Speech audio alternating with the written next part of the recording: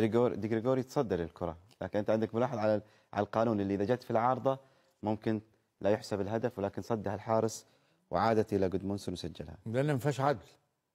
حارس اجاد وحارس صد الكوره صد ضربة جزاء. أنا ما أديش ال- الحق أو ال advantage للاعب نفسه اللي أخطأ وصد منه حارس المرمى.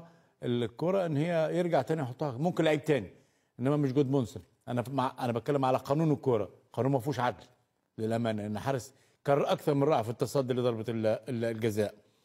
إحنا مش يعني ما كافئش لعيب أخطأ إن أديله فرصة تانية إنه يصلح الخطأ بتاعه. نعم. وأحاسب حارس أجاد إن الح- اللعيب نفسه هو اللي يجيب الهدف. لا طبعا أنا ضدها تماما يعني. نعم هي تعديلات شهر سبعة ما اخذت المفروض كان يكون فيها هذا التعديل صراحة. بتاعت أرسن فينجر نعم. لكن هذا الهدف